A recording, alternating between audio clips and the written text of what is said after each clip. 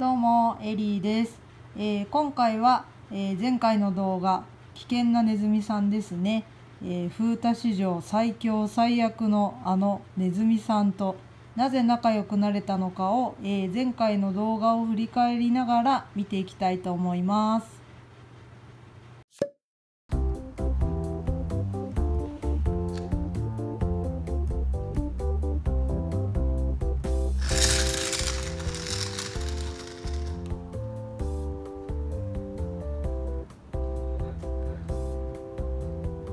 いいよ。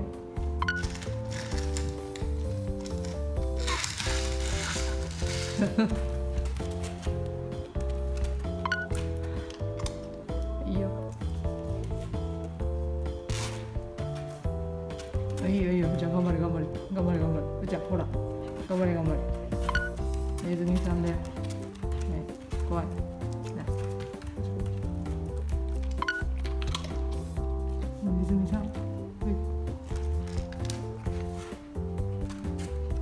こんちゃん。はい。は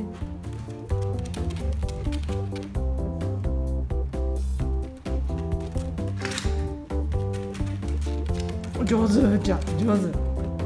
上手。いい。頑張れネズミさん。ネズミさんネズミさん持って。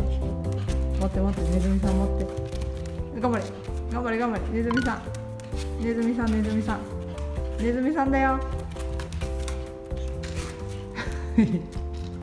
持ってきて。あ上手上手うー。持ってきて持ってきて。え持ってきて。あ上手店長で。イエーイ上手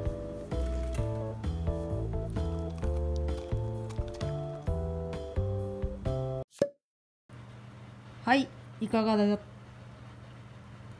はいいかがだったでしょうか、えー自分で見返してももうちょっと風太を褒めてあげたらよかったなとか、えー最初にネズミさんにアタックしに行ったところでも褒めてあげればよかったなと回数がちょっと少ないなっていうのが反省点でしたが、えーなんとか風太は仲良くなることができました。こういった初めてのものや苦手なものに慣らしていく場合に一番大切なことは、えー犬の気持ちが今どういう状態にあるかというのを見極めることです犬が怖がっているのに無理やり近づけてしまうと怖いって言ってるのになんで近づけるの？と飼い主さんに対して不信感を抱いて、えー信頼関係を崩してしまうきっかけとなる恐れがあります。なので怖がっている時は無理をせずいけそうな時は犬に任せてみて、えーサポートに回ってあげるということができると、えー信頼関係も深まっていくと思います。この動画を見て、えー何かわからないことや質問などありましたらコメント欄にぜひぜひコメント残してください。ではまた次回の動画でお会いしましょう。